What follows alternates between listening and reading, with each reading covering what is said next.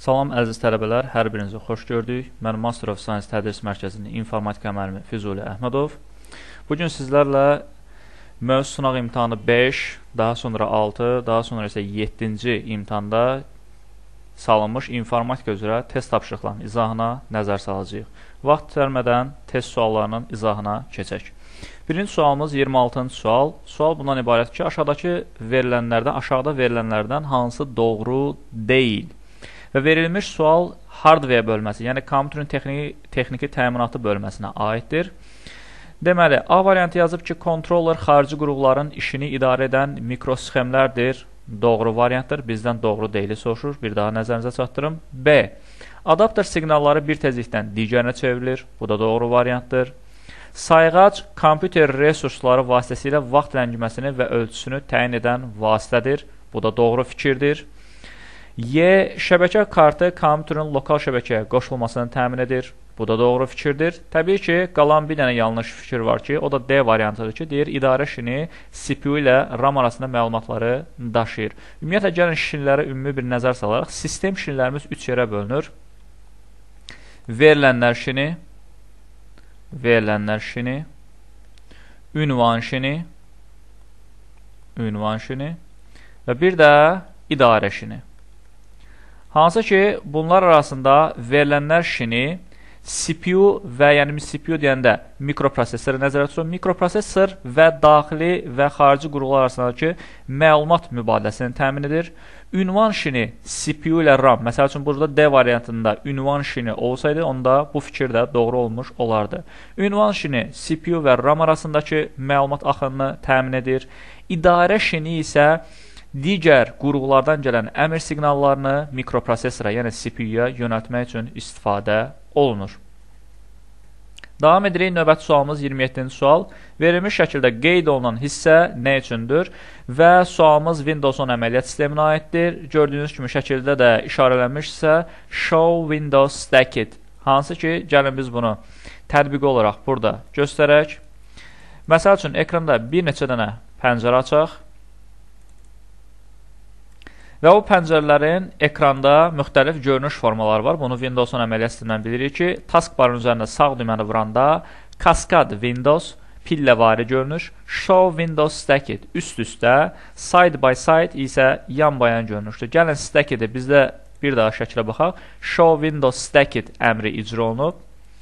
İcra edək bu əmri. Show Windows Stacked. Gördüyümüz kimi üfüqi şəkildə pəncərələr üst-üstə yığılmış vəziyyətdə görünür ki, bizim də burada doğru cavabımız nə olacaq? Açılmış pəncərələr ekranda üst-üstə üfüqi şəkildə əks olmasını təmin edir. Növbəti sual, 28-ci sual, əməliyyat sistemləri bölməsinə aid olan sual növüdür və əməliyyat sistemlərinin fayl adları, fayl tipləri, faylın adında istifadə oluna bilən adlar və istifadə oluna bilməyən adlardan söhbət gedir bu sualda. Baxaq görək bizə nə verilib. Ümumiyyətlə faylın adında hansı işarələri istifadə etmək olmaz və ya hansı adları istifadə etmək olmaz. Gəlin birinci onlara baxaq. İşarələrimiz xətlər, iki nöqtə, dırnaq, böyükdür, kiçikdir işarəsi, sual və ulduzdur. Digər tərəfdən bəzi adlar da var ki, biz onları fayl adında istifadə edə bilmirik.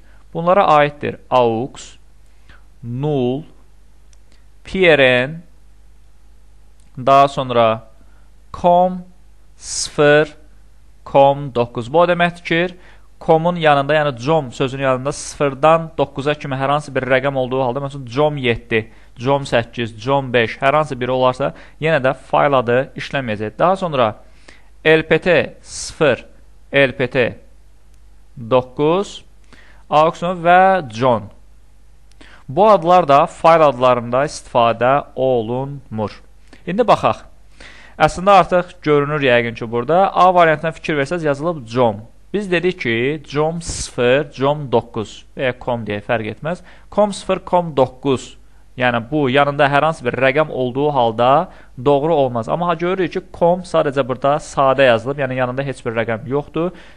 .exe icra olunan fayl tipidir və bu faylın adlandırması doğrudur. Bəs digər variantlarda nə səhvdir? Gəlin ona baxaq. B variantda görürük com 0 yazılıb, olmaz.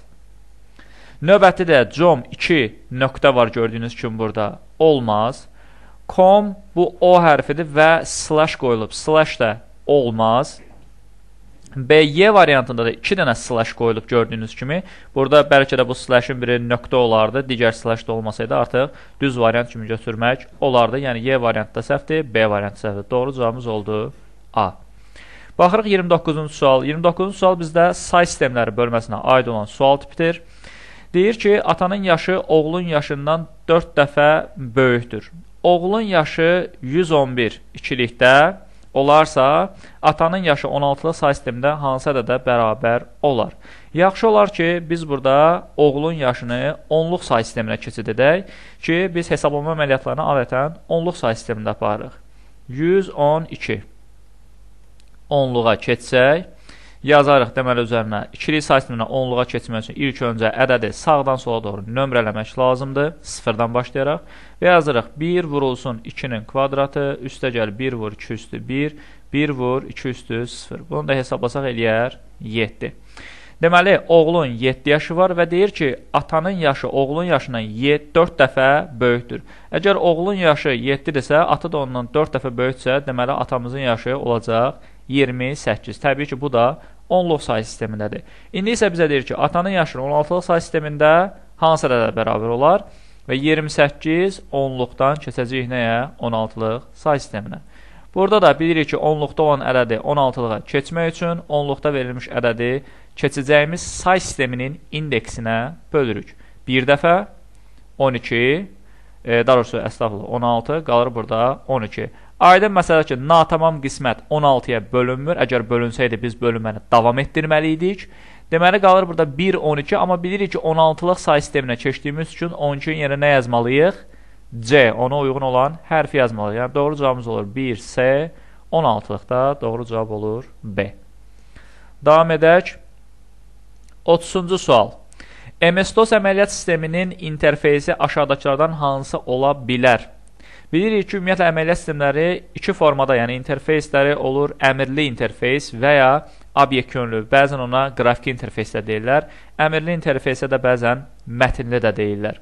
İndi isə gəlin nəzər salaq. MS-DOS əməliyyat sistemi bizdə Windows əməliyyat sistemləri daxilində CMD olaraq öz əksini tapmışdır. CMD-ni açaq. Ümumiyyətlə isə bilirik ki, MS-DOS əməliyyat sisteminin əməliyyat örtüyü də Norton Commander olub və burada əmrlər sətir bə sətir daxil olunur. Məsəl üçün, tutaq ki, yazıram IP config bir sətirdə tutaq ki, bir əmr daxil edim. Növbəti tutaq ki, məsəl üçün yazıram color 2, daha sonra məsəl üçün yaza bilərik 3, yəni bir neçə komandalar yazıram ki, bunu açıq-aydın görək. Yəni gördüyünüz kimi hər bir komandanı mən sətir bə sətir daxil edirəm. Buna görə də deyə bilərik ki, MS-DOS əməliyyat sisteminin interfeysi sətirli interfeysdir. Daha sonra 31-ci sual Windows 10 əməliyyat sisteminə aiddir. Task Manager pəncərəsini aktivləşdirmək üçün verilmiş üsullardan hansı doğrudur? Task meneceri bir neçə üsulla aktivləşdirə bilərik. Gəlin bunlara nəzər salaq. Bircə dəqiqə pəncərələrimizi düzəldək. Ümumiyyətlə Task Manager-dən nə üçün istifadə olunur? Task Manager bu zaman açılar ki, dey deyirik ki, kompüterdə proqramlar bir-birindən asılı vəziyyətdə qalır və ya biz adətən bunu necə istifadə edirik? Yəqin ki, praktikada qarşınıza çıxıb kompüterdə müəyyən bir proqramlar açılır və proqramları bağlamağa çalışırıq. Tutaq ki, X close düyməsini vurub proqramlar bağlamır. Yəni bir növ kompüter donmuş vəziyyətdə qalır. Məcbur qalırıq ki, Task Manager-i açıb Nə edək? Bir dəfəlik bütün proqramların hamısı, məsələn, Word proqramını seçib buradan end task tapşırıqları sona yetirə bilərik. Bunun üçün Task Manager-dən istifadə olunur. Qaldı ki, Task Manager-in açılmağına, Task Manager-i taskbarın üzərinə sağ düyməni vurub taskbarın kontekst menüsündən aça bilərik. Bu bir üsul. İkinci üsul, klaviatura yolu üçün mən ekran klaviaturasını sizlər üçün açım. Qısa yol kimi Ctrl Shift Escape-dən istifadə edib aça bilərik. Və ən sonuncu üsul isə Ctrl Alt Delete hansı ki vurub müəyyən bir pəncərəyə keçid edə bilərsiniz. Hal-hazırda mən videoda bunu göstərə bilməyəcəm. Çünki e, Ctrl Alt Delete sistemdən çıxmış vəziyyətdə olur. Yəni ümumi e, istifadəçi hesabından çıxmış kimi olur deyənə artıq hal-hazırda video buna iza, e, icazə verməyəcək. Amma özünüz yoxlaya bilərsiniz. Ctrl Alt Delete vuranda bir göy səhifə gələcək. Həmin göy səhifədə də Task Manageri görəcəksiniz. Oradan da vurub aktivləşdirə bilərsiniz. İndi isə gedək cavablara nəzər salaq. Ctrl Shift Delete yazılıb. Xeyr, Ctrl Shift Escape olsaydı olardı. Ctrl Shift Alt da avtomatik gedir. Ctrl Alt D bu da belə bir qısa yol demədimsə Ctrl Alt Delete dedi. Məsələn, burada da shift-in yerinə delete olsaydı, qoy burada da yazım, gözümüzün önündə olsun. Deməli, Ctrl Alt delete olmalıdır bizim qısa yolumuz və ya Ctrl Shift Escape olmalıdır bizim qısa yolumuz ki, cavablarda məncə onların heç biri yoxdur. WinTab ümumiyyətlə bizdə Task View-nu açır. Hansı ki, WinTab-ı da icra eləyə baxaq. Gördüyünüz kimi burada Task View hissəni açır. Qaldı bizim burada C variantımız tapşırıqlar paneli üzərində sağ düyməni, yəni taskbar üzərində sağ düyməni vurub açılan kontekst menudan Task Manager əmrini klikləməkdir ki, elə ilk göstərdiyimiz üsul da o idi. Bir daha göstərim. Task Manager. Növbəti sual, 32-ci sual algoritmlərə aid olan bir sualdır. Aşağıda göstərilmiş fiqur blok sxemdə hansı əməliyyatı yerinə yetirir? Hansı ki, gördüyümüz bu fiqur sxemin növbəti səhifədən davam etməsi üçündür. Tutaq ki, məsəl üçün bu bir A4 səhifəsi olsun. Siz burada blok sxemi qurursunuz. Qrup-qrup gəlib səhifənin sonuna çatanda artıq blok sxem əgər davam edəcəksə digər səhifədən, mütləq burada səhifəni bu belə deyim ki, səhifə birləşdiricini qoymağınız önəmlidir. Yəni səhifə birləşdirici digər tərəfdən alqoritmin yenidən başlanmasını ifadə edir. Yəni davamıdır belədir. Necə ki, sətirdən sətrə keçəndə tire qoyuruq. Bir növ bu da səhifədən səhifəyə keçid üçün blok sxemlər üçün bir fiqur formasıdır. Keçdik 33-cü sual. Aşağıda verilmiş əməliyyat sistemlərindən hansı digərlərindən tez yaranıb, yenidən əməliyyat sistemlərinə aid olan bir suala nəzər yetiririk. Hansı ki, əməliyyat sistemlərinin yaranma arzularına nəzər yetirsək, ilk öncə Unix yaranıb, daha sonra MS-DOS, daha sonra gəlirik deməli yaranıb OS2, daha sonra MacOS və daha sonra isə Linux əməliyyat sistemi yaranıb. Bir də ki, Windows əməliyyat sistemi. Daha sonra isə Windows-da müəyyən versiyaları ilə öz aralarında növbələşdilər. Məsəl üçün Windows 95, 98, ME, NT bu formada davam edir. Aha, burada deyəsən bir şey, a, üzürü sayım, burada bir şey səhv yazmışam. Birinci daha doğrusu MacOS yaranıb, daha sonra olsun ki, niyə mən sıralama səhv verdim? Bircə dəqiqə bunu silək.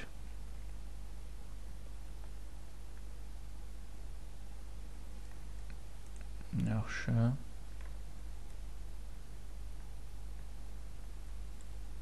Aha. Macos Nos üçün yerinə səhv qeyd edilmişəm. Deməli, birinci Macos, daha sonra isə OS 2. Aha, indi nə deyir bizə? Hansı tez yaranıb? Baxaq görək bunların içərisində deməli Windows-un versiyalarsa Windows XP, Vista, NT artıq bunlar Windows-dan sonrakılardır belə deyək, yəni Windows-un versiyalarıdır. Windows-dan qabaq Linux yaranıb. Tutaq ki, onu ən tez götürə bilərik, amma Linux-dan qabaq kim yaranıb? OS 2, yəni ən tez yaranan OS 2 əməliyyat sistemidir.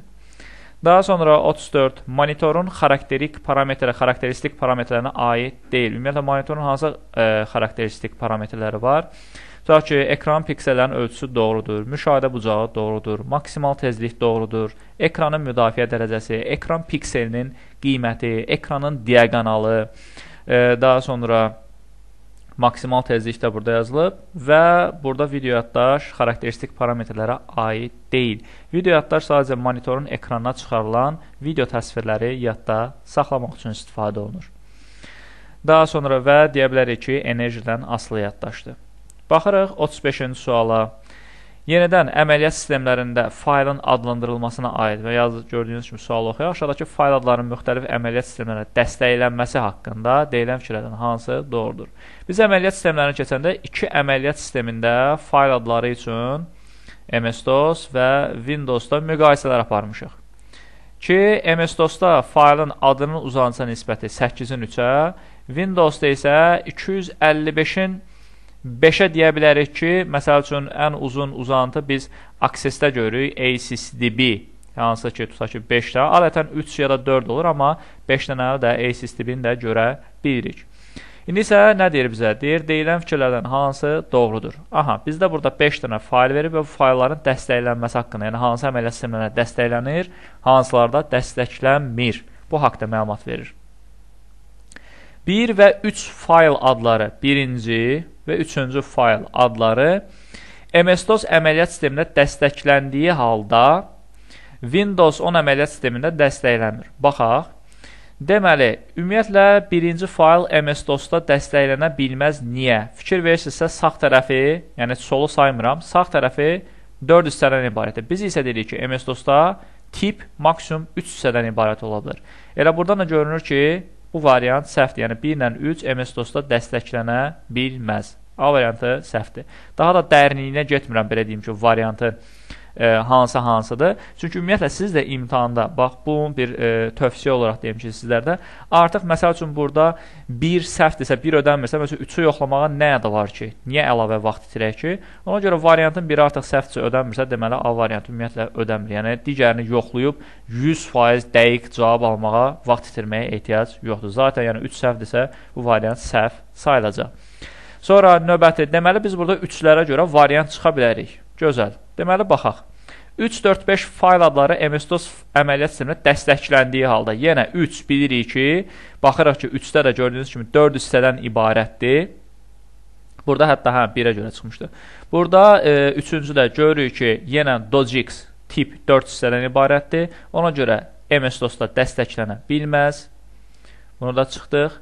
C-də 1, 3, 5 fayl adları MS-DOS əməliyyat sistemində həm də Windows-un əməliyyat sistemində dəstəklənmir. MS-DOS-da dəstəklənməyə bilər, amma Windows-onda niyə dəstəklənməsin ki? Gəlin baxaq. 1 Windows-onda dəstəklənir, 3-də dəstəklənir, 5-də dəstəklənir. Deməli, bu variant da, yəni variantın elə ki, yarısı, əslən cümlənin yarısı düz, yarısı səhvdir. Windows-onda dəstəklənir, amma MS-DOS-da dəstəklənmir. Y-yə də baxaq, burada da 1 ilə 5 ilə bağlı e, görək nə verib.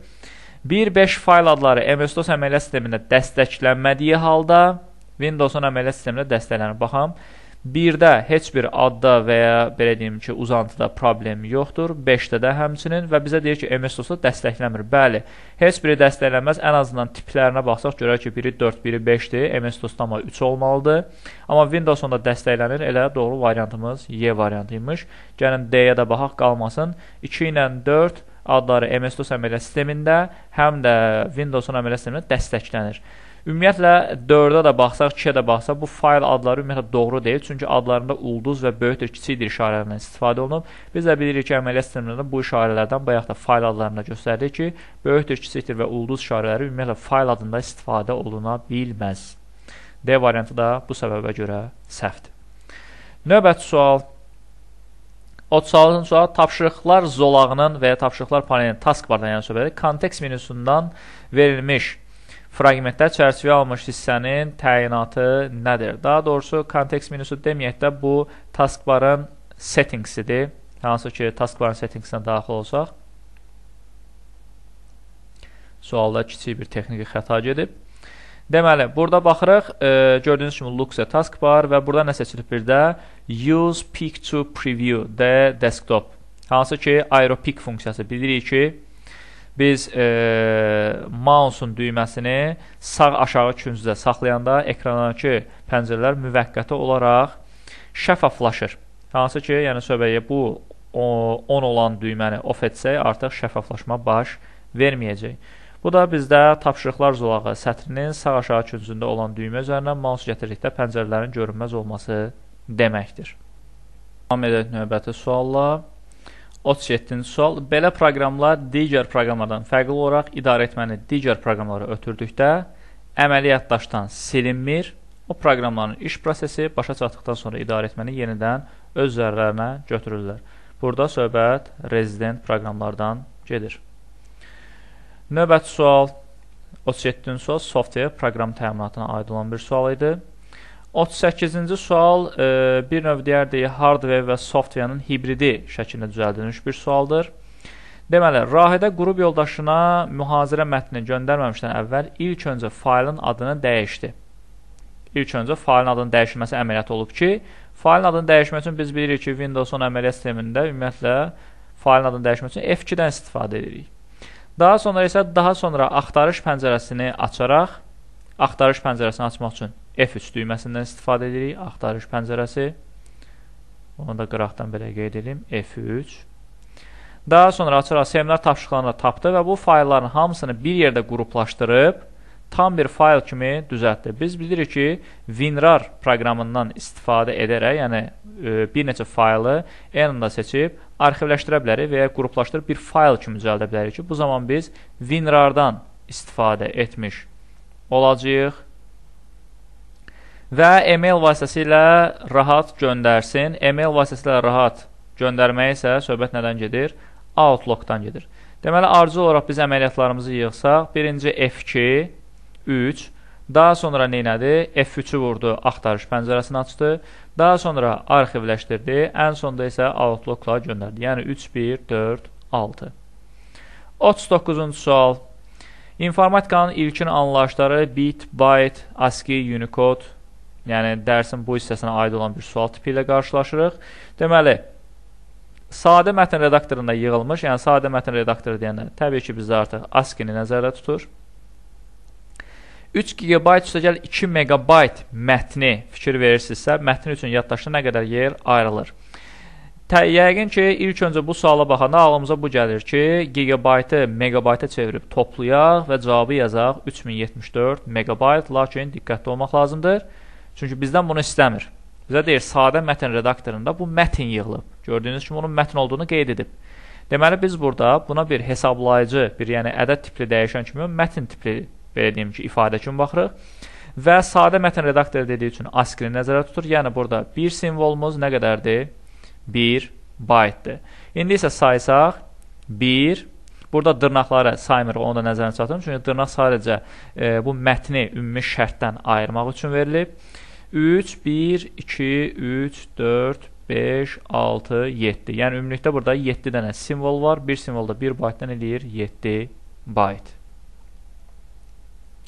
Növbəti sualımız 40-cı sual. Təkliflərdən hansı doğrudur? Yenidən alqoritmə aid bir suala nəzər yetiririk. Ən əyani təsvir vasitəsilə sözlə təsvir üsuludur. Xeyr, algoritmlərdə əyani təsvir üsulu kimi blok sxemlər e, götürülür. Hansı ki, blok sxemlər vasitəsilə biz tutaq ki, müəyyən bir fiqurlar çəkirək, əyani formada bunu təsvir elətdiririk. Ona görə əyani təsvir üsulu blok sxem sayılır. E, belə deyək ki, sözlə təsvir sadə təsvir üsulu sayılır əslində. Ən yığcam təsvir alqoritmik dil olan təsvirdir. Bəli, söhbət proqramlaşdırma dillərində təsvirdən gedir. Bu doğrudur. 3. Daxil etmə bloku ellips çevrə ilə göstərilir. Xeyr, daxil etmə və ya xaric etmə bloku bizdə parallelogram vasitəsilə göstərilir. 4. Alqoritmin müəyyənlik xassəsinə diskretlik də deyilir. Xeyr, alqoritmin e, diskretlik e, xassəsi müəyyənlik deyil. Müəyyənliyə determinlik deyirdik biz ikinci bir adı ilə. 4 də yanlışdır və doğru olan bir cavabımız var, o da yalnız 2-dir. 41-ci sual. Faylın tam adı, tam yolu bu hissəyə aid olan əməliyyat sınırı bu hissəyə aid olan bir sual tipidir. Hər hansı bir kataloqda paper texti fayla saxlanmışdır hər hansı bir kataloqda bilmirik, tutaq ki, bir X kataloqu olsun. Orada nə saxlanılıb? paper.txt saxlanılıb. Okay. İndi isə bizə deyir ki, həmin faylı bu kataloqda yaradılmış alt kataloqa daşıdıqdan sonra, yəni X-in içində bir alt kataloq yaradılır. Tutaq ki, o da olsun Y. Alt kataloqa daşıdıqdan sonra və bu paper texti hardan hara daşınıb? X-in içindən daşınıb Y-in daxilinə. Yəni X-in içində Y yaradıblar. Olub belə X. Y və burada X-in içindəki paper texti də daşınıb, tutaq ki, bura. Və faylın tam adı olub belə. İndi artıq burada fikir veririk, x, y artıq təyin eləmiş olacaq. Baxırıq ki, məsəl üçün burada ən sonuncu yaranmış alt kataloq hansıdır? Ən sonuncu yaranmış alt kataloq ref-dir bizdə. Və o deyirdi ki, hər hansı bir kataloqun içində yaranıb. Hansı kataloqun içində yaranıb? Özündən öncəki teksti alt kataloqu daxilində yaranıb. Və daşınmaya qədər də, çünki deyirdi axı paper textini dedi daşıyıb refin içərisinə. Paper texti də deməli əvvəl nəyin içində olub? Tekstinin içində olub ki, daha sonra ref yaranıb, daha sonra isə tekstinin içindəki paper texti köçürüb refin içinə yəni daşınıb ora. Daha sonra yer dəyişməyə qədər faylın yerləşdiyi kataloq silinir. Gəlin bir dənə yola baxaq. S, sektor, user, texti, ref, paper texti daşınmaya qədər və ya yer dəyişməyə qədər deyir. Yer dəyişməyə qədər dedik ki, faylımız harda idi? Paper texti dedik ki, yerləşirdi tekstinin içərisində. Düzdürmü? Deyir yer dəyişməyə qədər faylın yerləşdiyi kataloq, yəni teksti silinir. Əgər biz tekstini buradan silsək, niyə silmədi? Hə, tekstini tutaq ki, buradan silsək, artıq tekstinin də daxilində ref və paper teksti var axı. Biz artıq tekstini siləndə ref ilə paper teksti də nə edir? Silinmiş olur. Buna görə də artıq faylın, belə deyim ki, yolu düşür bu hala C sektor user halına. Yəni burada tələbələrin bəziləri mən sınaq nəticələrinə baxanda görmüşdüm ki, bu formada yazıblar. C sektor user tekstini siliblər, sadəcə ref ilə paper tekstini saxlayıblar. Ola bilməz axı. Çünki əgər ref ilə paper teksti tekstinin içindədirsə, biz tekstini siləndə avtomatik digər fayl, onun daxilində olan fayllar da silinmiş olur. Bu səbəbdən teksti, ref, paper teksti hamısı silinir. Geriyə sadəcə yazıb ki, bu əməliyyatlardan sonra yuxarıda qeyd olunmuş tam ad hansı formada olur? Qalır sadəcə C sektor user. Davam edirik. 42-ci sual.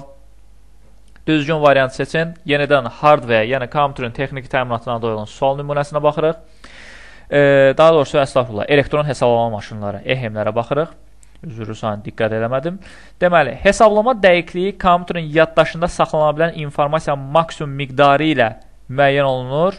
Bu, təbii ki, nə olar? Yaddaşın tutumu olar. Hesablama dəqiqliyi olmaz. İşləmə sürəti ədədlərin təsviri üçün istifadə olunan mərtəbələrin sayı ilə təyin olunur ki, elə bu hesablama dəqiqliyinin tərifi idi, amma qarışıq yazılıb. Yəni işləmə sürəti bu deyil. Burada ədədlərin təsviri üçün istifadə olunan mərtəbələrin sayı hesablama dəqiqliyi ilə ifadə olunur. Məhsuldarlıq prosesorun yerinə yetirə bildiyi əmrlər toplusudur. Xeyr, kompüterin yerinə yetirə bildiyi sadə əməliyyatların orta sayı ilə ifadə olunur məhsuldarlıq. Prosesorun yerinə yetirə bildiyi əmrlər toplusu onun əmrlər sistemini verir ki, Y variantında gördüyünüz kimi əmrlər sisteminin də tərifi başqa verilib. Verilib kompüterin prosesorun vahid zamanda yerinə yetirə bildiyi sadə əməliyyatların sayı, bu onun işləmə sürətini ifadə edir. Y də səhvdir. Əslində belə baxsaq, A, B, C, Y variantlarının cavabları bir-birinə qarışıq formada verilib bir növ. Və D variantı doğru variantdır. İş etibarlı müəyyən şərtlər daxilində və müəyyən vaxt müddəti ərzində kompüterin öz saxlama e, xassələrini saxlama qabiliyyətidir. Doğru variantımız D-dir. Davam edirik. 43-cü sual. İnformasiyanın e, ilkin anlayışları dərsindən belə deyək ki, informasiyanın xassələrinə aid olan bir sualdır. Yazıb aşağıdakılardan hansı e, informasiyanın tamlığı xassəsinə aiddir? Baxaq Deməli, informasiyanın alınması mümkünlüyün ölçüsüdür. Xeyr, informasiyanın işin real obyektiv vəziyyətinə uyğun olma dərəcəsidir. Xeyr, lazımi siqnalın vaxtı-vaxtında daha dəqiq qeyd olmasıdır. Xeyr, informasiyanı alan şəxs tərəfindən başa düşülən olsun.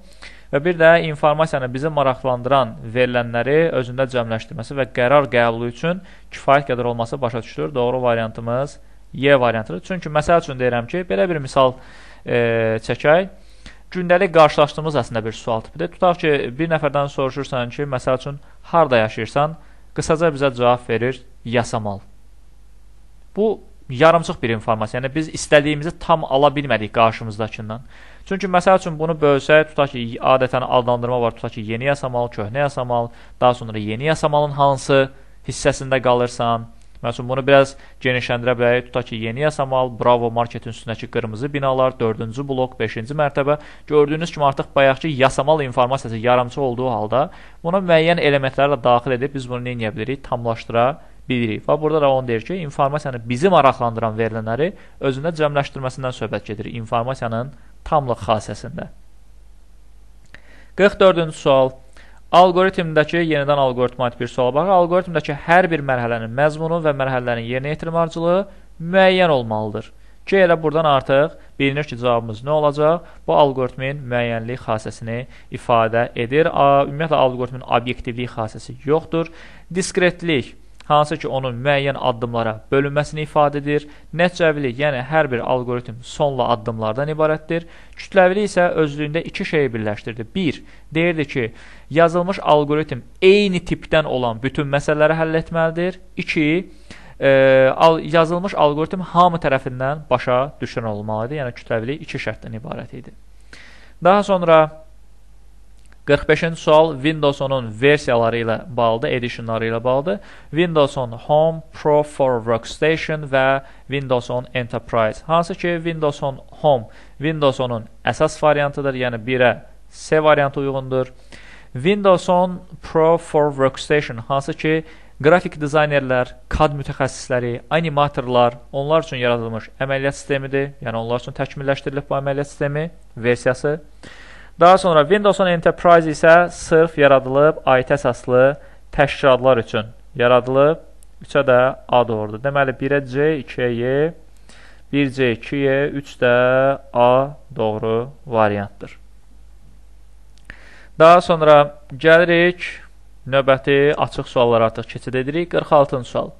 Aşağı səviyyəli proqramlaşdırma dilləri hansılardır? Ümumiyyətlə bilirik ki, proqramlaşdırma dillərimiz ikiyə ayrılır: aşağı səviyyəli və yuxarı səviyyəli. E, aşağı səviyyəli proqramlaşdırma dillərimizdən yalnız assembler və AutoCAD var. Qalanlar isə C++, ADA, bunlar yuxarı səviyyəli proqramlaşdırma dilləridir. Fort ümumiyyətlə yoxdur. Bir də Eclipse var, hansı ki, Eclipse amma inteqrallaşmış mühitdir proqramlaşdırmanın inteqrallaşmış mühiti və ya qısaca IDE də deyə bilərik. Daha sonra 47 hər bir nöqtəsi 6 bitlə kodlaşdırılmış rəng çaları, daha doğrusu təsvir neçə rəng çalarından ibarətdir. Biz bilirik ki, 1 e, pikseli rəngləmək üçün lazım olan bitlərin sayı, tutaq ki, n-dirsə, rəng çalarlarının sayı 2 üstü n-ə bərabər olur. Bir də isə deyir ki, hər bir nöqtəsi 6 bitlə kodlaşır, yəni n-in yerinə 6 qoysaq, rəng çalarlarının sayı olar 2 üstü 6, yəni 64 dənə rəng çaları alınır. Və ya bəzən buna bir pikseli rəngləmək üçün lazım olan bitlərin sayı demək əvəzinə deyirlər rəngin tərtibi. Bu formada da bir terminologiya ilə suallarda qarşılaşa bilərsiniz. Daha sonra gəlirik e, 48-ci sual yenidən alqoritma aiddir. Doğru fikirləri seçin. Proqram sazlandıqdan sonra işçi proqrama çevrilir. Bəli, doğrudur. Dövrə alqoritmlər tam və natamam olmaqla olmaz. Hansı ki, dövrə alqoritmləri yox, budaqlanan alqoritmlər tam və natamam olardı. Dövrə alqoritmləri isə ön şərtli, son şərtli və ya modifikasiyalı olaraq biz onları bölə bilərdik. 3. Alqoritmin dəqiq riyazi tərifi yoxdur. Bəli. 4. E, çünki alqoritm ümumiyyətlə niyə dəqiq riyazi tərifi yoxdur? Deyir ki, alqoritm yəni tərifini əslində biz təxmini olaraq vermişdik, amma tam dəqiq riyazi tərif deyil bu. Alqoritm nə səbəbdən ortaya çıxıb? eyni tipdən olan məsələləri həll etmək üçün ortalığa çıxıb. Yəni ona dəqiq bir tərif qoyulmayıb. Alqoritmin ən yığcam təsvir vasitəsi alqoritmik dildir. Bunu qabaqçı sualda da izah etdik. Dedik, proqramlaşdırma dilinə təsvirdir. Blok sxemlə təsvir alqoritmin kütləvilik xassəsini ödəmir. E, hansı ki, e, ödəyir, e, kütləvilik xassəsini ödəməyən sözlə təsvirdir. 5 də səhvdir. Doğru cavabımız olur 1, 3, 4. 49-cu sual. Arxivləşdirmə proqramları software proqram təminatına aid olan sualdır. Arxivləşdirmə proqramlarına aid fikirlərdən neçəsi yanlışdır? Yaxşı olar ki, əziz tələbələr, əsasən açıq suallardır, yəni bu çox vaxt tələbələrin gözünə dəymir. Ümumiyyətlə, tələbələr adətən belə deyim ki, ümumiyyətlə insan psixologiyası belədir ki, biz cavablarda doğru variantı axtardığımız üçün yanlış belə desə, beynimiz bu formada algılayır ki, ancaq doğru cavabı götürək.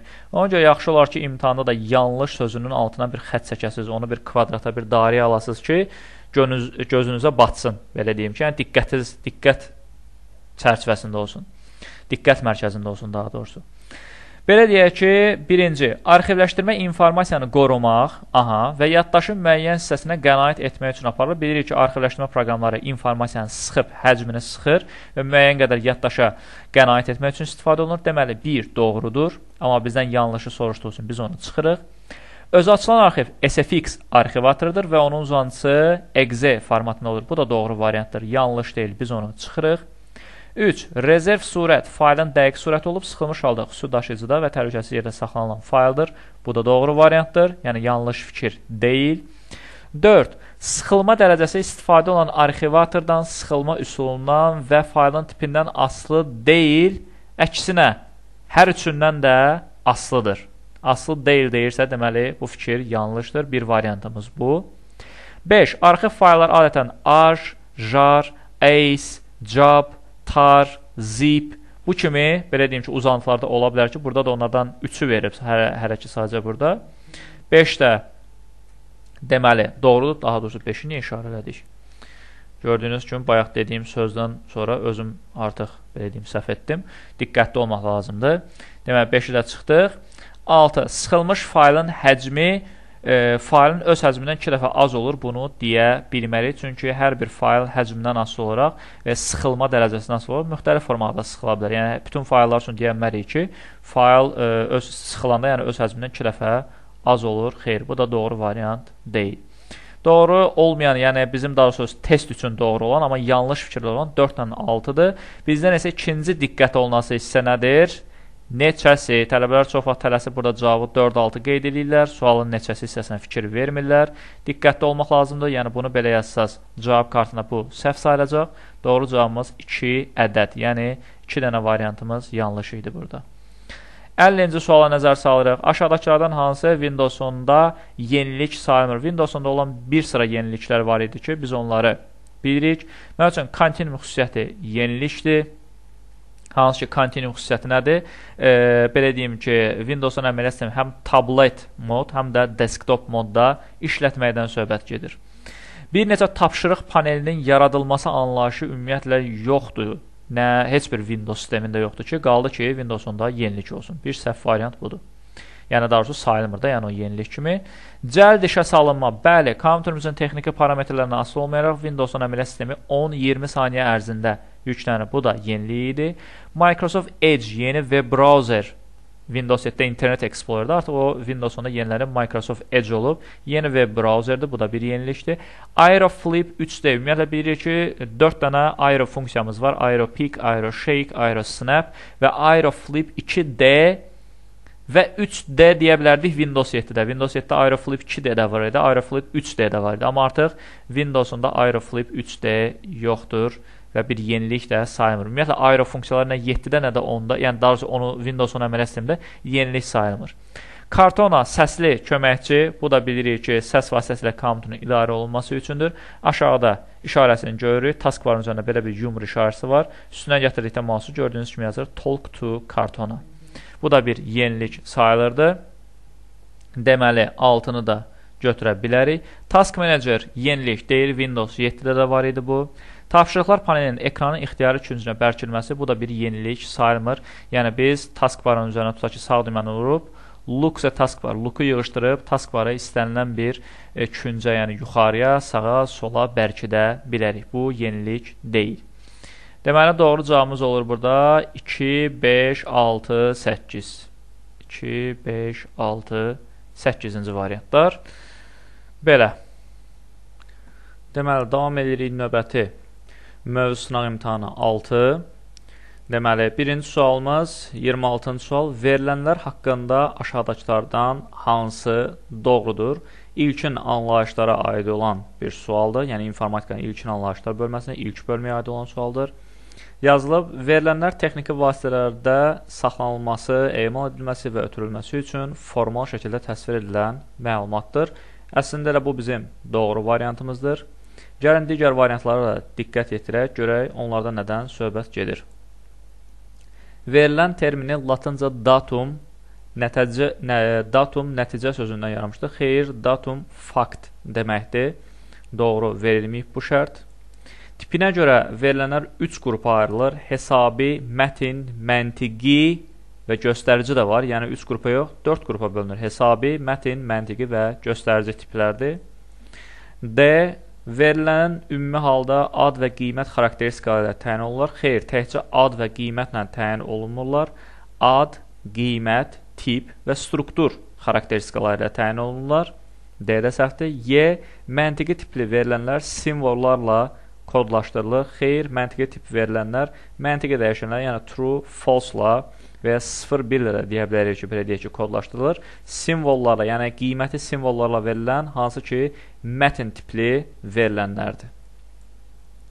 27-ci sual. Bu sualda informatikanın ilkin anlayışlarına informasiyanın xassələrinə aiddir. İnformasiyanın adekvatlığı nədir? İlkin olaraq verilib, bizi maraqlandıran verilənləri özündə cəmləşdirməsi və qərar qəbulu üçün kifayət qədər olması başa düşdürür ki, bu bizdə informasiyanın tamlığını ifadə edir. A variantı deyil. B. İnformasiya o vaxt adekvat hesab edilir ki, o heç kəsin fikir və mühakiməsindən asılı deyil. Bu adekvat hesab edilir ki, demək doğru olmaz. O heç kəsin fikir və mühakiməsindən asılı deyilsə, bu informasiya obyektivdir. Alınan informasiyanın cari zamana, cari vəziyyətə uyğun olması bu onun aktuallıq xassəsidir. Alınan yeni informasiyaların həmin anda ona alana verilən problemin həllinə lazım olması isə informasiyanın qiymətlilik xassəsidir ki, ona da çıxsaq, D variantı informasiyanın işin real obyektiv vəziyyətinə uyğun olması dərəcəsidir. Və ya bunu öz dilimizdə desək, adekvat informasiyasında nədir? Təhrif olunmamış informasiya növüdür. Baxırıq növbəti aşağıdakı mülahizələrdən neçəsi doğrudur? E, deməli, verilmiş sual nümunəsi hardware, yəni kompüterin texniki təminatına aiddir. Hətta aralarda bəzi punktlarda ehemlərdən də artırılmış fikirlər var. Birinci fikir, qida bloku sabit cərəyanı dəyişən cərəyana çevirir. Xeyr, qida bloku dəyişən cərəyanı sabitə çevirir, yəni yerləri səhv verilib, çevrilmə səhv verilib. 2. Hesablama maşınları 3 böyük sinif ayrılır. Analog, rəqəm, hibrid və ən çox yayılan da hansılardır? Rəqəmsal e, hesablama maşınları ki, bunlara da ehemlər deyilir. Bu doğru fikirdir. Hə, bizdən doğrular sözüdür, özü neçəsi. Paralel portlarda informasiya baytlarla, ardıcıl portlarda isə bil, e, bitlər şəklində ötürür. Bəli, bu da doğru variantdır. 4. Əmrlərlə verilənlər arasında aşkar şəkildə heç bir fərq yoxdur. Bu Neyman arxitekturasının fikirlərindən biridir. Yəni əmrlərə, daha doğrusu Neymanın e, belə deyim ki, Neymanın əsas prinsipləri var ki, bunlardan biridir. Yəni əmrlərə verilənlər kimi baxmaq olar və onlar üzərində əməliyyatlar aparmaq olar. Bu da doğrudur. 5. Proqram təminatının ilk dəfə 3 yox, 2-ci nəsildən yaranıb, 3-cü nəsildən isə artıq proqram və aparat təminatı birgə istifadəyə verilib. 6. Takt impulsları generatoru kompüterin müxtəlif proseslərini sinxronlaşdırması üçün verilmiş tezlikli elektrik impulslarını generasiya edir və çox vaxt etalon tezlik kimi istifadə olunur. Yəni doğru cavabımız olur 2, 3, 4, 6, yəni ümumi 4 cavabımız doğrudur. 29. Şimal körpüsü ana plata üzərində hansı qurğular arasında informasiya axınına və əmrlər siqnalının ötürülməsinə yardım edir? Ümumiyyətlə biz bilirik ki, kompüterdə, yəni ana plata üzərində 2 dənə chipsetimiz var və ya belə deyək, 2 dənə körpümüz var. Biri nose bridge, digəri isə south bridge, yəni şimal körpüsü və cənub körpüsüdür. Şimal körpüsü daha güclü işləyən qurğular, yəni belə deyim ki, kompüterin əsas qurğuları, ümumiyyətlə kompüterdə bütün qurğular əsasdır, lakin üçü ən əsasdır ki, bu qurğuları da biz hansıları deyirik? Deyirik ki, RAM, əməliyyatdaş, video kart və CPU, mikroprosesordur ki, bu üç qurğu şimal körpüsünə qoşulur və onların nəzarəti altında işləyir, yəni onlara məsuliyyət daşıyır. Qalan digər qurğular isə cənub körpüsünə birləşir. Deməli, növbəti 30-cu sual say sisteminə aid olan bir sualdır. Aşağıda verilmiş Rum say sistemindəki ədədi onluq say sistemində hansı ədədə bərabərdir? Biz burada bir qaydaya fikir verməliyik. Əgər Rum say sistemində verilmiş ədəd böyükdən kiçiyə doğru düzülübsə, tutaq ki, yazıram S, məsəl üçün 100-dür, x, daha sonra 5, bir də yazıram 2. Əgər verilmiş ədədlər, belə deyim ki, ədəd daxilindəki rəqəmlər tutaq ki, ardıcılıqla düzülübsə, bu zaman tutaq ki, 100 plus 10 plus 5 plus 2 toplama əməliyyatı gedir. Əgər burada sıralama pozularsa, məsəl üçün x ilə başlasaydı, artıq burada biz yazmalıydıq mənfi 10 plus 100 şəklinə, yəni bunun açılışı bu formada olacaqdı. İndi isə bizim ədədə diqqət yetirək. Bizdə isə ədəd verilib x, x, 5, c, 2. Gördüyünüz kimi sıra pozulub. Deməli, gördüyünüz kimi 10, 10, 5, sonra isə 100 gəldiyi üçün artıq burada hesablama qaydası olacaq bu formada. Mənfi 10, üstə gəl, mənfi 10, üstə gəl, mənfi 5, üstə gəl 100, üstə gəl 2. Yəni olacaq mənfi 20, mənfi 25, mənfi 23, 100-dən də 23 çıxanda qalacaq 77. Deməli, verilmiş bu Rum, Rum say sistemindəki ədəd onluq say sistemində bu ədədə bərabərdir. 31-ci sual. Modulyasiya funksiyası nədir və hansı qurğu bu funksiyanı yerinə yetirir? Təbii ki, söhbət, yəqin ki, bizə aydın olur ki, modemdən gedir. Amma analog siqnalı rəqəmsal siqnala çevirməsi modulyasiya sayılmır. Şəbəkə adapteri deyil, fax deyil. Y variantına baxaq, analog siqnalların ədədi, ümumiyyətlə ədədi siqnal anlayışı yoxdur. Qalır bizdə rəqəmli siqnalın analog siqnala çevrilməsinə deyilir modulyasiya. Əks prosesə, yəni analoqun rəqəmsala çevrilməsinə isə demodulyasiya deyilir və qurğumuz da modemli doğru cavabımız olur C variantı. Davam edirik 32-ci sualla.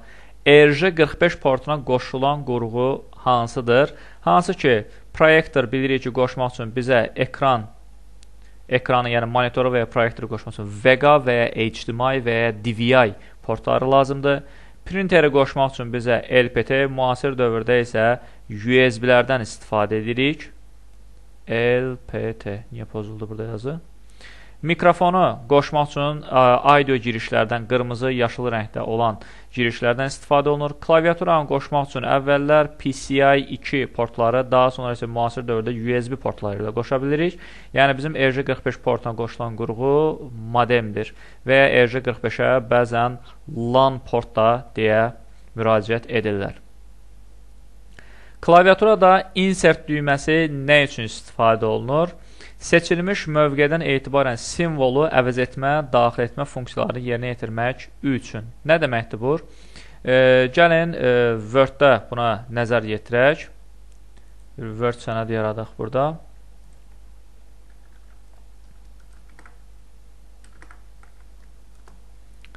Deməli, Word-də overtype funksiyası var. Insert düyməsi də bunu aktivləşdirmək üçündür. İlk öncə mən o funksiyanı aktivləşdirim burada. Tutaq ki, nəzər yetirək, mən yazıram bura informatika. Baxın, kursoru qoyuram sözün əvvəlinə, tutaq ki, yazıram məktəb. Fikir verin, tutaq ki, mən məktəb sözünü yazanda kursor elə bir ki, digər sözü yeyir. Yəni necə? Digər sözün simvolunu əvəz edə-edə yeni sözü daxil edir. Və buna overtype funksiyası deyirlər. Overtype əmridir əslində Word-də bu. Həmçinin bunu klaviaturadan insert düyməsi ilə də idarə etmək olar. Yəni bu belə deyim ki, funksiyanı e, insert düyməsi ilə də aktivləşdirib söndürmək olar. Sonra növbəti burada baxa bilərik, digər də düymələrə də baxaq, görə digər variantlarda nədən söhbət gedir. Windows-da mouse'un köməkliyi olmadan obyektlər arasında və ya pəncərənin elementləri arasında çevirmək üçün. Bəli, baxın, diqqət eləsəz, taskbar hissəyə diqqətinizi verin, mən bir dənə ekrana qaydım. Taskbar hissəyə diqqət verin, bax, mouse-u hərəkət etdirmək tab düyməsi ilə tutaq ki, Baxın, tab düyməsinə mən vurduqca fikir versə aşağı taskbar üzərində olan düymələrdə keçidlər baş verir. Fikir verin, indi isə sağ tərəfə doğru bu formada düymələrdə və ya pəncərələrdə keçid edə bilərsiniz. Sonra növbəti nə var idi burada? Aşağı istiqamətdə mətni ekran boyu vərəqləmək üçün söhbət page down, page up. Page up təbii ki, yuxarı doğru, amma aşağı istiqamətdə dediyi üçün page down düyməsindən istifadə olunur. Görək klaviaturanı açaq burada. Diqqət edək ona. Deməli, page down, bax bu düymədən söhbət gedir. Daha sonra sonuncu əməliyyatın yerinə yetirilməsinə imtina etmək üçün söhbət bir növ cancel-dır, amma cancel klaviaturadan escape ilə idarə edə bilərsiniz. Sətrin sağ kənar tərəfindən keçid üçün təmin etmək üçün. Ümumiyyətlə sətr üzrə, mətndə sətr üzrə iki düymə oynayır. Home və end düymələri. Home düyməsi sətrin əvvəlinə, end düyməsi isə sətrin sonuna keçid etmək üçün istifadə olunur. 34-cü sual. Qovluqda 6 ədəd fayl yerləşir. 6 dənə fayl verilib. Bunlardan aşağıdakı fayllar qrupu hansı maskaya əsasən seçilər? Fikir verin. 6 dənə fayl verilib. Lakin deyir ki, bizə sırf bu 4 dənəsi üçün ödənən maska seç. Deməli, bizim seçdiyimiz maska bu 4 dənədən başqa nə isə ödəsə, deməli, o variant doğru deyil. İndi bu dediyimi təsdiqləyən formada, yəni izahı verəndə görəcəksiniz. Məsəl üçün, gəlin baxaq. Tutaq ki, burada adətən ulduzlara görə yox, suallara görə işləsək daha yaxşı olar. Çünki ulduz bizdə ixtiyari simvol əvəz edir deyənə, ulduzla işləyəndə bizi çaşdıra bilər. Amma sual konkret olaraq bir simvol əvəz edir və digər tərəfdən boşluğu əvəz etmir.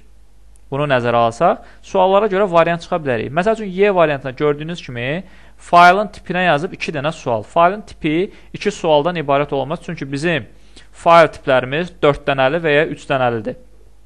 Ən azından görürəm ki, buradakı 4 dənə faylın heç biri bu tipə, yəni bu maskaya uyğun deyil.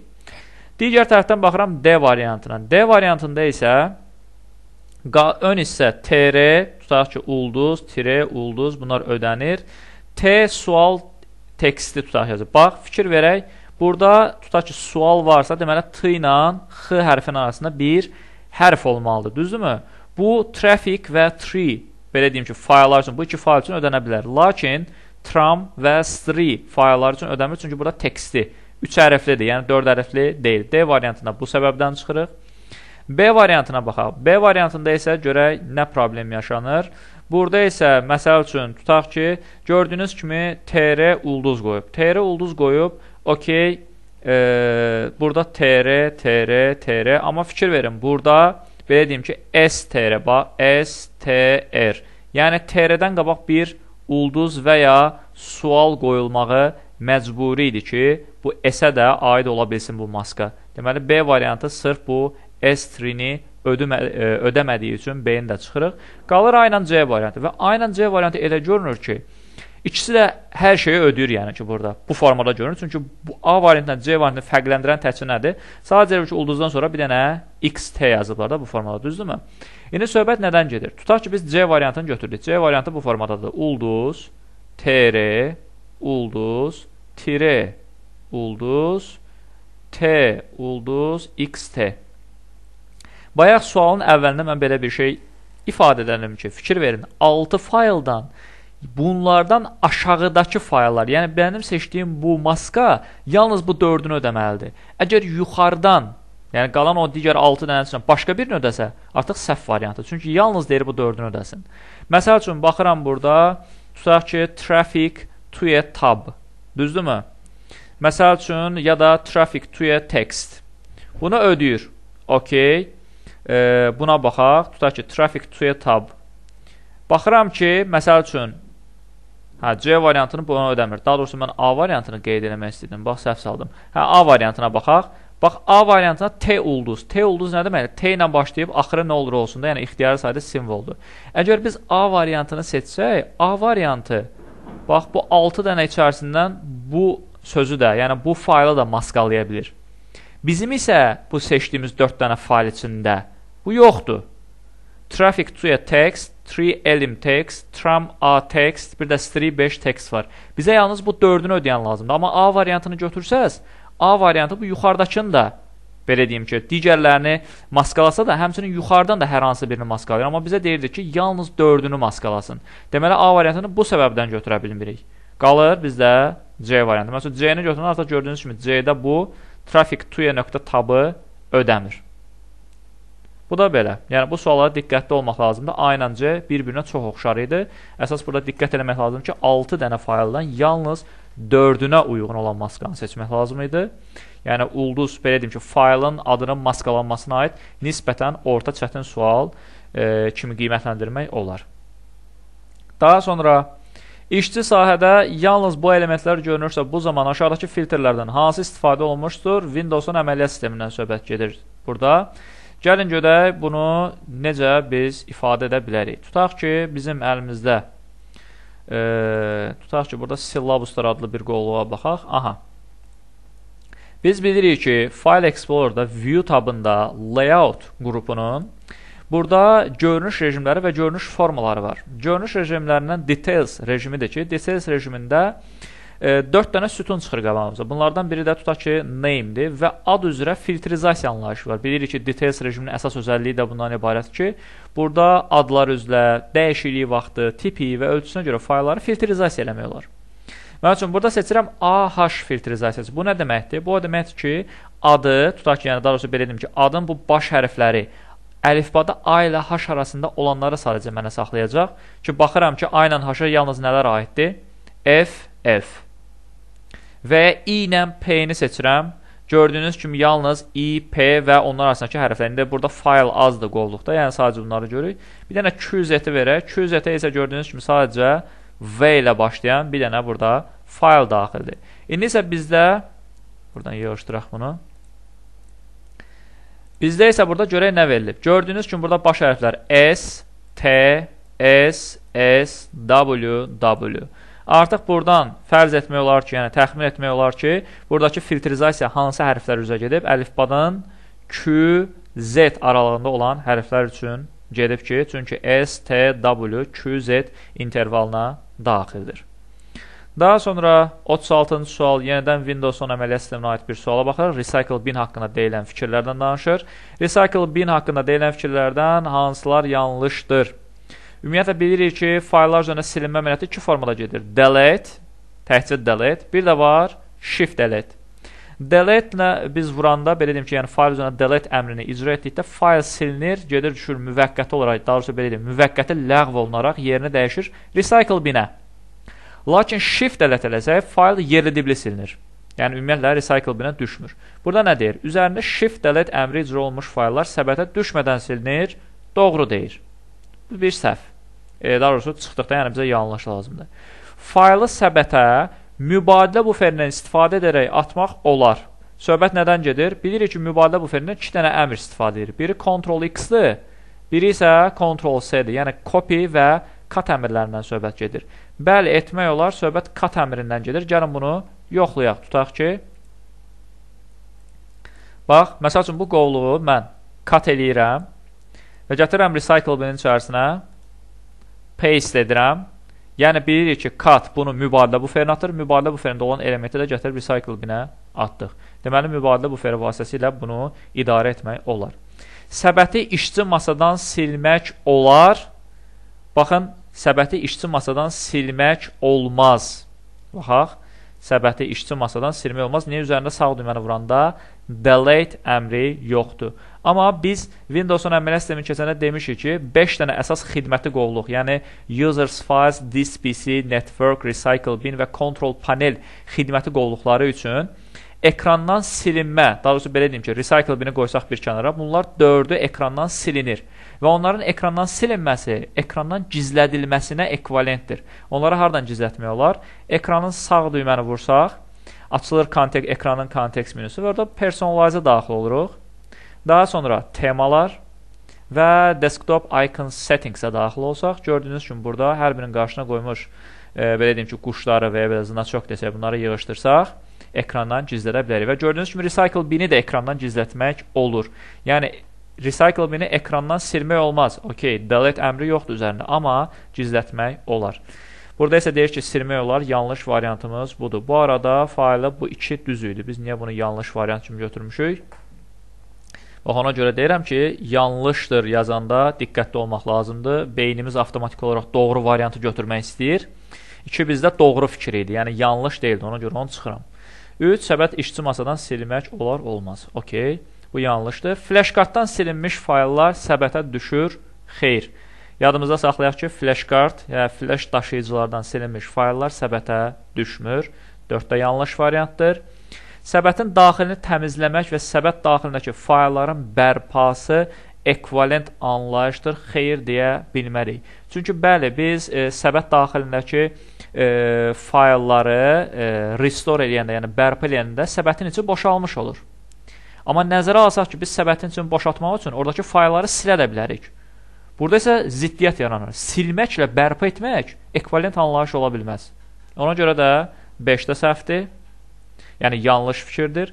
Səbəti baş menyuya bərkitmək olur. Bəli, söhbət səbəti nədən gedir? Pin to start. Yəni baş menyuya pinləmək. Baxaq. Aşağıda pinləmə sayəsində gördüyünüz kimi gəldi, düşdü. Bu da belə. Növbəti danışırıq biz. E, demə, hə, doğru cavabımız nə oldu? Doğru cavabımız oldu burada D variantı 3, 4, 5. Sonra davam edirik 37-ci sual. Windows əməliyyat sistemlərində hansı arxivləşdirmə proqramlarından istifadə edilir? Windows Explorer bizdə fayl bələdçisidir. Paradox ümumiyyətlə verilənlər bazasını idarə etmə sistemləri proqramlarına aiddir. SL.32 antivirusdur. Backup hansı ki ehtiyat nüsxə yaratmaq üçün utilitdir.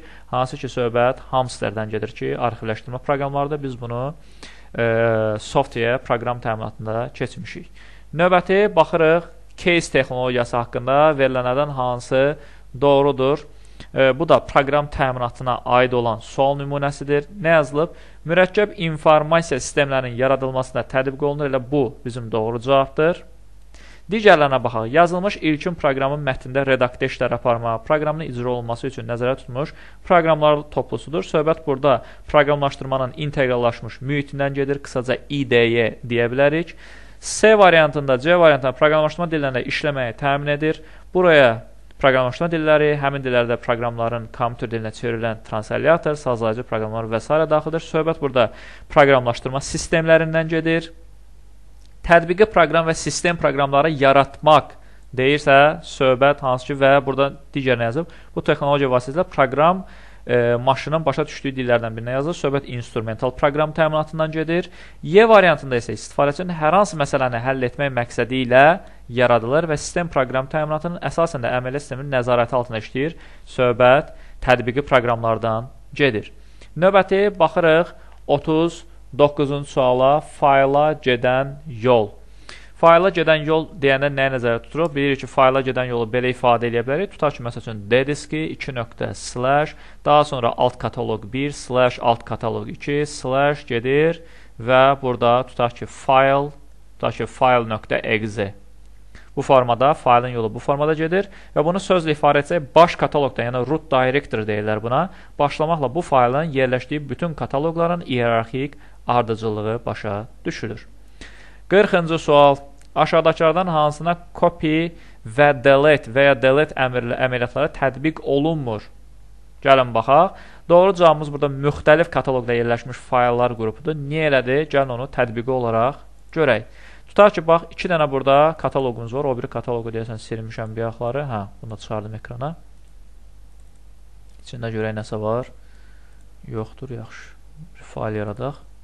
Aha, Tutaq ki, bu qovluğu da açıram. İki dənə kataloq da bizdə. Biri budur.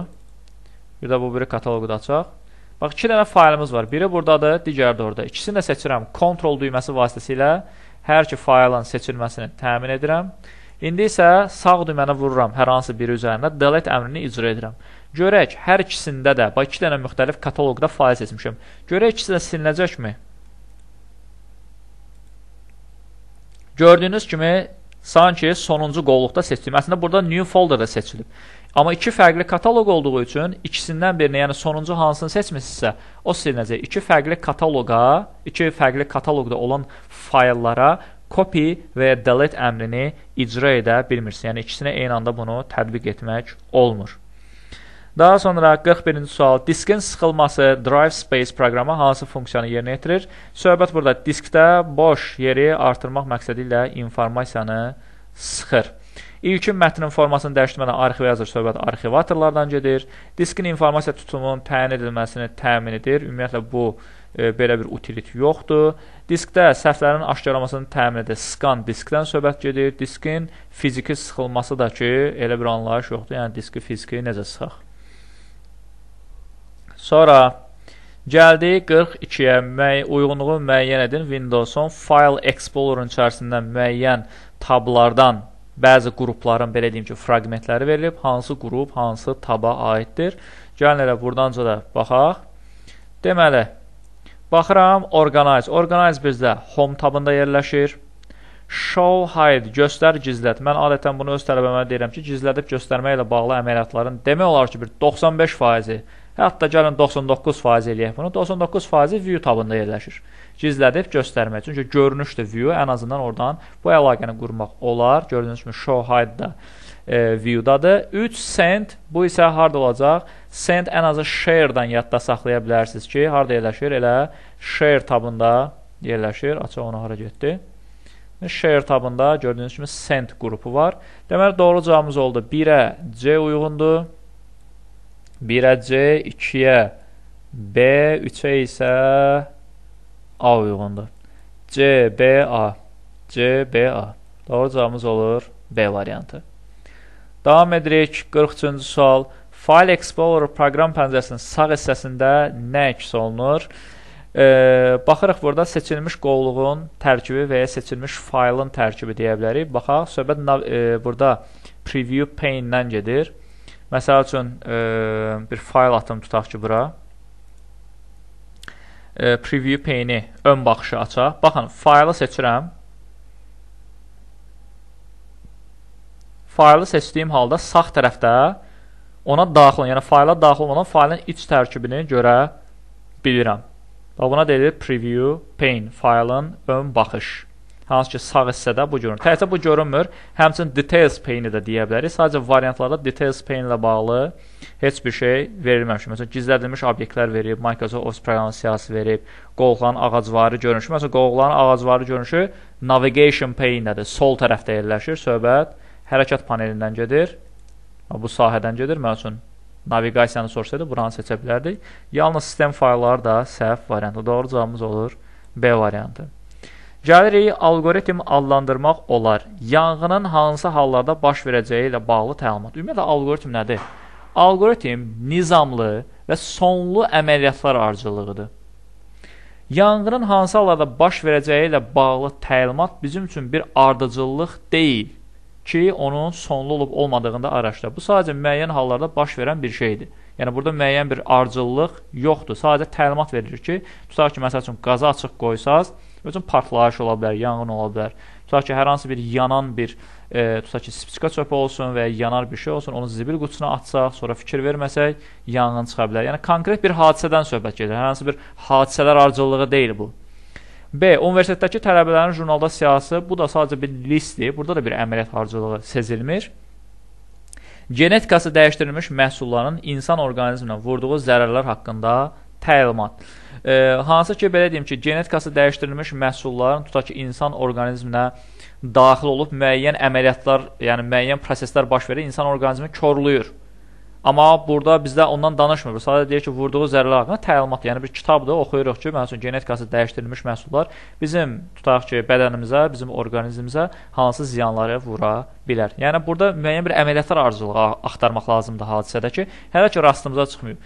Vətəndaşın doğum şəhadətnaməsi, bu da sadəcə bir sənəddir. Burada da heç bir əməliyyat arzu olunmur. Məsəl üçün desəydi ki, vətəndaşın doğum şəhadətnaməsinin alınması, məsələn, o şəhadətnaməni almaq üçün müəyyən əməliyyatlar arzuq etməliyik. Tutaq ki, nə bilim, tutaq ki, uşaq anadan olmalıdır və ya digər digər digər şeylər və s.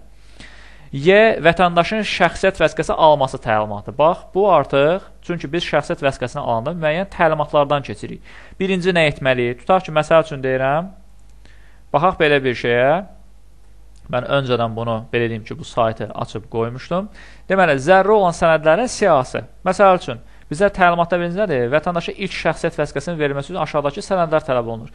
Birinci bizə bir anket verir, ərizə anket. Onu doldurmalıyıq. İkinci, doğum haqqında şəhadətnaməni götürmək, yəni sənədləri yığmalıyıq müəyyən bir ardıcılıqdan keçməliyik. Sonra qan qrupumuzu, gözümüzün rəngi, boyu haqqında tibbi arayış almalıyıq. Sonra dövlət rüsumunu ödəməliyik. Daha sonra əgər ərizə vətəndaşı övladlığa götürən və s. yəni ideyası yəqin ki, aydındır. Biz hər dəfə burada müəyyən addımları yerinə yetirməliyik. Daha sonra barmaq izi verməliyik və s. ilə axır ki, yəqin ki, çoxunuz şəxsiyyət vəsiqəsi alanda bu addımlardan keçmisiniz ki, gördüyünüz kimi müəyyən nizamlı və sonlu əməliyyatlar arzularından keçmiş olursunuz. Ona bu səbəbdən də doğru cavabımız olur Y variantı. 45-ci sual yenidən alqoritma aid sualda blok sxemlə verilib. Nə deyir bizə? Budaqlanan alqoritm gördüyünüz kimi tam formalı budaqlanmadır. Verilmiş alqoritm fraqmenti daxil edilmiş ixtiyari n ədədinin tək və ya cüt olduğunu təyin edir. Bu şərt daxilində sual əvəzinə hansı parametr yazılmalı? Yəni bura hansı şərt yazılmalıdır ki, bu blok sxem ədədin tək və cüt olduğunu təyin etsin. Burada artıq nisbətən e, biraz da riyazi təfəkkürümüzü işə salmalıyıq. Məsəl üçün cüt ədədlər bilirik ki, 2-yə bölünür və 2-yə böləndə onların qalığı nə alınır? 0. Tək ədədlər isə 2-yə bölünüb müəyyən bir qalıq alınır. Bu zaman biz qalıqlı bölmə işarəsindən, məsələn, faiz işarəsindən istifadə etsək, e, bilirik ki, alqoritmik dildə faiz işarəsi qalıqlı bölmə deməkdir. Tutaq ki, bir dənə misal yazım, məsələn, 5 faiz 3. 5 faiz 3 nə deməkdir? 5-i 3-ə bölüb qalığını götürür. 5-i isə biz 3-ə bölüb, tutaq ki, 1, qalığı neçə qalır? Tutaq ki, 2. Yəni 5 faiz 3-ün cavabı 2 verməlidir bizə. İndi bizdə əgər burada şərt yerinə n faiz 2 bərabər 0, yəni bu nə deməkdir? 2-yə bölünmədə qalıq 0 alınırsa, onda H-yə gedəcək, ki, A cüt ədəd olacaq. Əks halda isə tək ədəddir. Tutaq ki, məsəl üçün daxil edirəm 7. N-i 7 kimi daxil edək. 7 faiz 2 bərabərdirmi? 7 faiz 2 bərabərdirmi 0-a? Təbii ki, yox. 7 2-yə böləndə qalıqda 0 alınmır. Bu səbəbdən yoxa gedəcək, çıxardacaq ki, məsəl üçün A tək ədəddir bu formada ya daha doğrusu ayə yəni mənimsədəcək ki, burada çıxan ədəd tək ədəddir. Bu da belə. Növbəti açıq tipli test tapşırıqlarına keçid edirik. Deməli, 46-cı sualımızda printerin çap sürəti 2 kilobayt böl saniyədir. Sənədin 3 vərəqi, hər səhifəsində 12 sətir, hər sətirdə 32 simvol var. Sənədin bir vərəqi çap edildi, çap edilməmiş nə qədər simvol qaldı. Deməli, məsələdə diqqət edəcəyimiz əsas nüanslardan biri, gördüyünüz kimi sənədin 3 vərəqi var deyir, lakin hər səhifəsi deyir. Bəzən burada tələbələrə fikir vermirlər, vərəq səhifə anlayışı diqqətli olun. Yəni bir vərəq bilirik ki, 2 səhifədir. İndi məsələnin ideyasına baxaq, görə nə deyir? Deyir, sənədin 3 vərəqi hər səhifəsində bu qədərdir. Sənədin 1 vərəqi çap edilib, okey. Çap edilməmiş nə qədər simvol qaldı? Deməli, sənədin bir vərəqi çap edilibsə, çap edilməyən vərəqlər neçə dənədir? 2 dənə. Bu 2 vərəqdir. Bu bizim üçün nə qədər eləyəcək? 2 vərəq eləyəcək bizim üçün 4 səhifə. Və çap edilməmiş simvollarda aydın məsələ tapmaq üçün deməli hər səhifədə 12 sətir, hər sətirdə isə 32 dənə simvol var. Vuracağıq deməli 4 vurulsun 12, vurulsun 32. Ümumi belə çıxır ki, 1536 dənə simvol çapa getməyib. Yəni 2 vərəq çapa getməyib. 2 vərəqdə olan simvol sayı da 1536 dənədir. Bu da belə. 47-ci sual. Bir USB portuna uzadıcılar vasitəsilə olaraq neçə ədəd qurğu qoşmaq olar? 127 ədəd qurğu qoşa bilərik. 48-ci sual. Aşağıdakılardan hansı tətbiqi proqram təminatına aid deyil? Tətbiqi proqramlara aid deyil. Məsələn, ümumi təyinatlı proqramlar bilirik ki, tətbiqi proqramlara aiddir. Redakta proqramları da həmçinin. E, daha sonra driverlər aid deyil. 1 3 Daha sonra proqram komplekslərindən söhbət gedir. Proqram kompleksləri bizdə e, instrumental proqramlara aiddir. Bir də inteqrallaşmış paketlər var ki, hətta proqram kompleksləri də bizim üçün burada cavabdır. Yəni yanlışla doğrunu çaşdırdım. İnteqrallaşmış paketlər, inteqrallaşmış paketlər isə bunlar isə aiddir tətbiqi proqramlara, yəni söhbət nələrdən gedir? E, framework və Microsoft Office inteqrallaşmış paketlərindən gedir. Yəni 5 də tətbiqi proqramlara aiddir. 3 ilə 4 bizim doğru cavabımızdır. Sonra 49-cu sual əməliyyat sistemlərinə aiddir. Aşağıdakı hökmlərdən hansı doğrudur? Yeni formatlanmış diskdə sadəcə bir kataloq olur ki, bu da root directory adlanır və proqram vasitəsilə silinə bilər. Səhvdir. Niyə?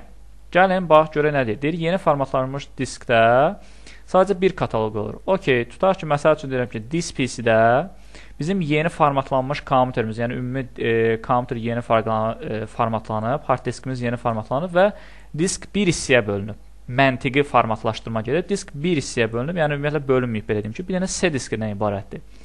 Əgər yaradılmış bu diski biz sonradan özümüz silə biliriksə, fikir veriniz, üzərinə delete əməliyyatı yoxdur, yəni ki, delete əmri yoxdur.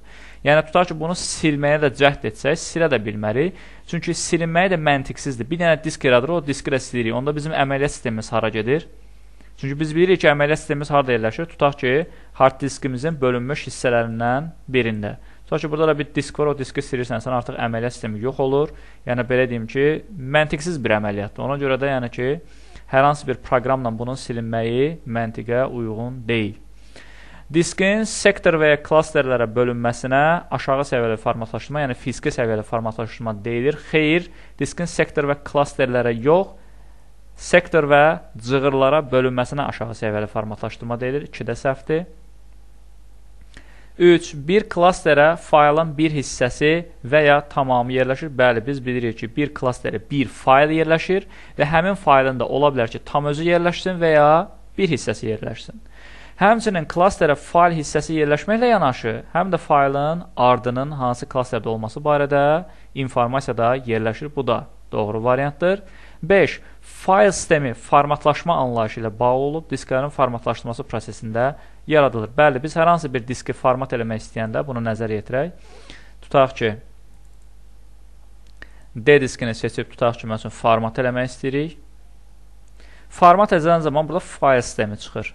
NTFS və ya digər fayl sistemi. Hal-hazırda bizdə Windows əməliyyat sistemi bildiyimiz ki, yalnız NTFS fayl sistemi dəstəklədiyi üçün başqa fayl sistemlərini burada göstərmir. Amma flaşkaları siz burada taxıb format eləmək istəyəndə fayl sistemin açanda NTFS, FAT32, XFAT bu kimi fayl sistemlərini də görə bilərsiniz. Deməli, fayl sistemi formatlaşdırma ilə bilavasitə bağlıdır. Yəni bu prosesdə yaranır. 6. FAT, e, FAT16 fayl sistemi formatlaşdırılmış xarici e, yaddaş qurğusuna həcmi 2 GB-dan böyük istənilən informasiya yazıla bilməz. Nəyə görə? Ümumiyyətlə bilirik ki, FAT fayl sistemində maksimum yaradıla biləcək disk ölçüsü 4 GB-dır və oraya yazıla biləcək də ən böyük fayl, yəni dəstəklədiyi də ən böyük fayl nə qədərdir? 2 GB-dır. Bu isə deyir ki, 2 GB-dan böyük istənilən informasiya yazıla bilməz. Təbii ki, doğru deyil. Doğru cavabımız olur 3, 4, 5, 6. 50-ci sual. Qovluqda müxtəlif növ genişlənməli fayllar və Şuşa qovluğu öz əksini tapmışdır. Qalanları fayldır, bir dənə Şuşa qovluğu var. Aşağıdakı ardıcılığı izləyin və sualı cavablandırın. Əvvəlcə kontrol gəlin biz bunu tədbiqi formada burada tədbiq edək. Deməli, bizə nə deyir? Mən bu qovluğu aşağı çəkim, olduğu kimi görünsün. Deməli, baxaq, bəli, tamamilə eynidir. Deməli, deyir ki, əvvəlcə kontrol düyməsi basılı vəziyyətdə olduğu halda mouseun sol düyməsi ilə Ağdam docx faylı seçilir. Ta ki, kontrolu sıxdım və Ağdam faylını seçdim. Daha sonra isə bu əməliyyatın ardından mouseun sol düyməsi vasitəsilə gələcək .pptx faylı seçildi.